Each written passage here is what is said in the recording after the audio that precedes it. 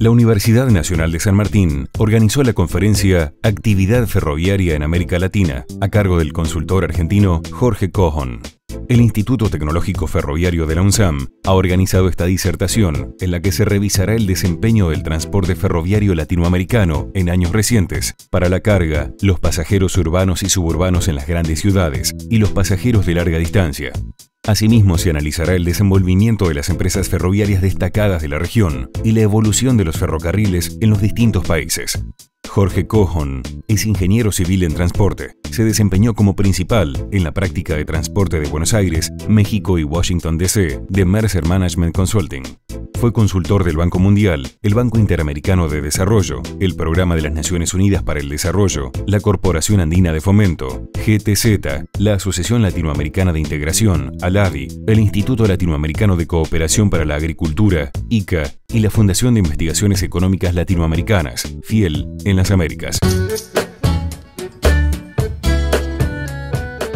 La mayoría de los sistemas ferroviarios latinoamericanos han cumplido 150, 160 años de actividad. Argentina los cumplió hace tres o cuatro años, pero la mayoría de los sistemas ferroviarios, eh, digamos, se crearon hace un siglo y medio en términos globales en América Latina. El ferrocarril trae nuevas formas de trabajo y fundamentalmente eh, exige organizaciones empresarias muy sofisticadas, grandes organizaciones empresarias donde hay que mantener las vías, hay que mantener las locomotoras, hay que mantener, los coches de pasajeros, los vagones, hay que mantener las señales, hay que hacer puentes, o sea, son organizaciones complejas que representaban una organización empresaria eh, pionera en ese momento histórico del mundo. Así como irrumpió el ferrocarril y cambió las condiciones previas de transporte, la irrupción del transporte automotor crea nuevas condiciones eh, de competencia que afectan decididamente al ferrocarril. Si uno tuviera que encontrar una razón, una única razón, si uno le dijeran, bueno, dígame por qué los ferrocarriles estatales tuvieron eh, una historia difícil, una historia complicada, eh, tuvieron tanta mala prensa, si uno tuviera que encontrar una razón, posiblemente esa razón sea la dificultad que tuvieron las empresas estatales para manejar la tracción diésel. Y eh, eso se tradujo en que la calidad de servicio, funda, principalmente por problemas de tracción, declinara enormemente. Prácticamente el 90% de la actividad ferroviaria latinoamericana está en, en, tres países y más del 80 está en dos, Brasil y México. Rehabilitar un kilómetro de vía cuesta un millón de dólares el kilómetro. Entonces, si uno quiere rehabilitar Buenos Aires, Rosario, Tucumán, está hablando de 1.200 a 1.300 millones de dólares. Si uno quiere rehabilitar Buenos Aires, Mendoza, está hablando de 1.000 millones de dólares. A lo mejor puede ser un 10% menos, pero estamos en órdenes de magnitud y em, realmente el más grande de los ferrocarriles concesionarios, concesionados nuevos, en Argentino recauda por todo concepto 100 o 120 millones de dólares por año.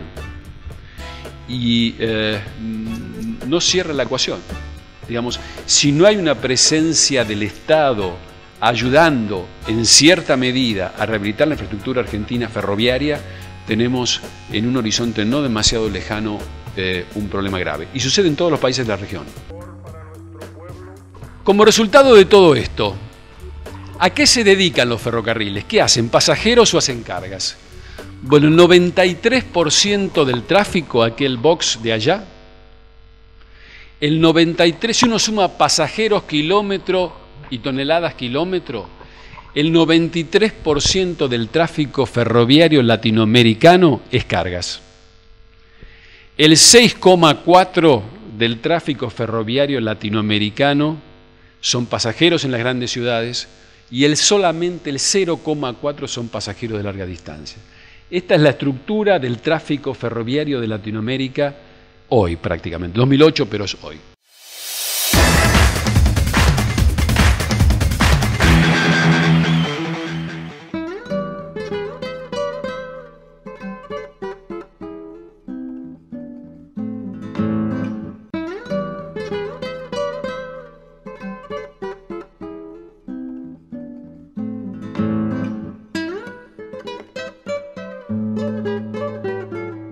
El sábado 5 de abril de 2002 perdurará en la memoria de los tucumanos por mucho tiempo, gracias al regreso del tren que une Tucumán con Buenos Aires, el tren Jardín de la República.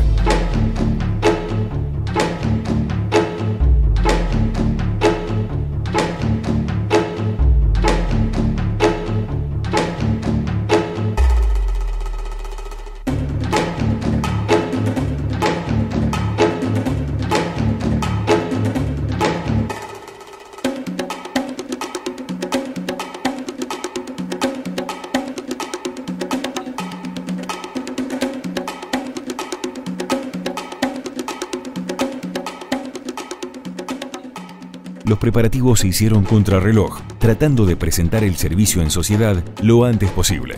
La estación Tucumán, kilómetro 1157, luce impecablemente pintada, así como los coches que aguardaban en las plataformas el ascenso de los viajeros, conformados por autoridades, invitados, periodistas y pasajeros. La partida, anunciada para las 17 horas, se demoró hasta las 18.30 horas, ese inconveniente no le quitó emoción a ese día tan especial.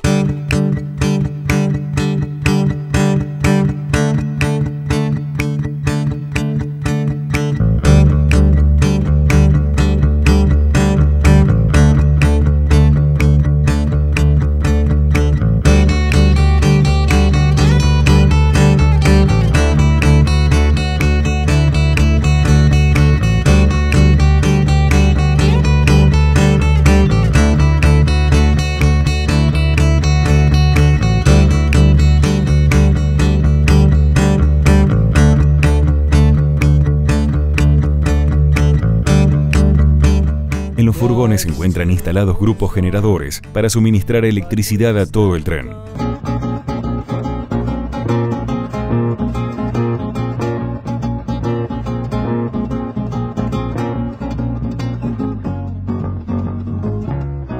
A la estación La Banda, kilómetro 1007, en Santiago del Estero, llegamos a las 22.30 horas, siendo recibidos por una multitud que superaba las 2.000 almas. La marcha de San Lorenzo y el himno nacional se hicieron oír y luego el intendente pronunció un breve discurso. Más tarde paramos en la estación Pinto, kilómetro 778, aún en Santiago del Estero, y luego en Rafaela, kilómetro 510, provincia de Santa Fe.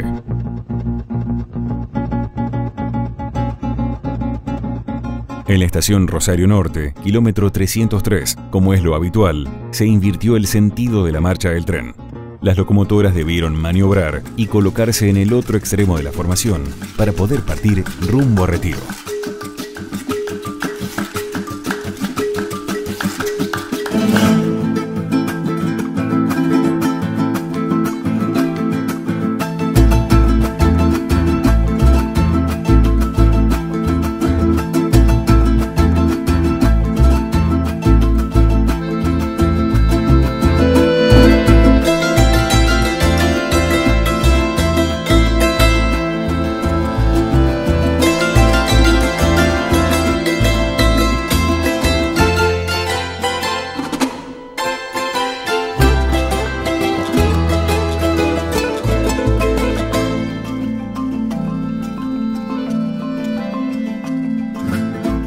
Transcurso del trayecto a Buenos Aires, disfrutamos del crepúsculo, visto de otra manera desde el tren y percibido diferente, como algo mágico, gracias a ese traqueteo producido por la vida.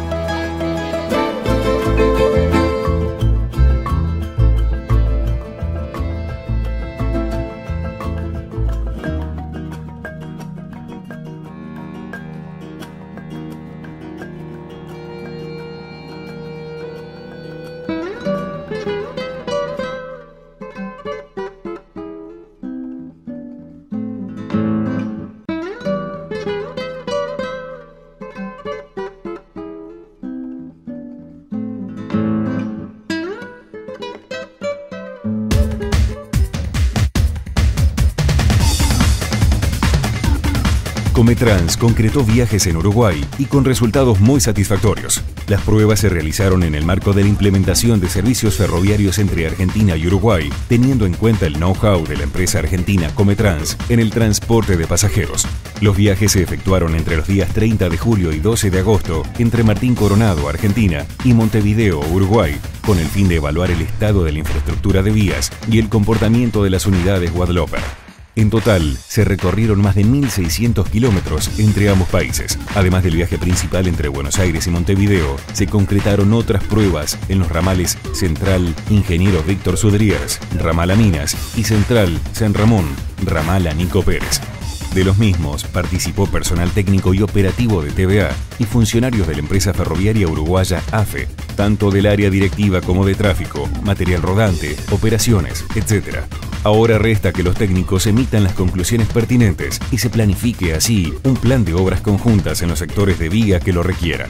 Por lo pronto, el próximo 29 de agosto, los presidentes de Argentina, Cristina Kirchner, y Uruguay, José Mujica, dejarán inaugurada la primera etapa del servicio internacional entre Concordia y Salto.